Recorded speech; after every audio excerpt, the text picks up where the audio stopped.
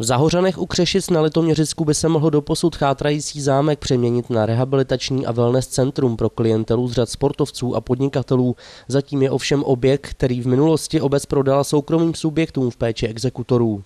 Druhá půlka bohužel je v exekuci, protože spolumajitel nějaká společnost stavební měla potíže, takže teďka ten majetek je vlastně e, takhle problematický, takže doufejme, že eh, nový majitel, si teda dojde k tomu, že zámek koupí, takže teda se aspoň tyto problémy vyřeší a další záměry samozřejmě jsou pěkné na papíře, ale je otázka, jestli eh, se uskuteční, ale hlavně, aby teda se vyřešil ten majetkový problém v prvním fázi asi. Jinak ovšem podnikatelský záměr nového potenciálního majitele zámku obec vítá s otevřenou náručí.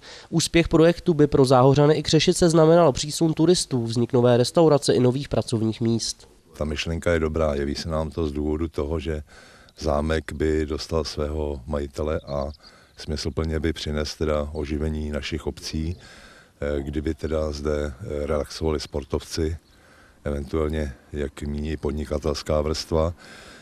Bylo by to zaměřený zejména teda na eh, sportovce a podnikatele a my jako obec samozřejmě jsme rádi, že by tenhle zámek získal podobu taká, taková, jaká je navržená, eh, čili že by nebyl využit či zneužit eh, jinými prostě v úvozovkách podnikateli, třeba jako malometrážní byty a tak dále.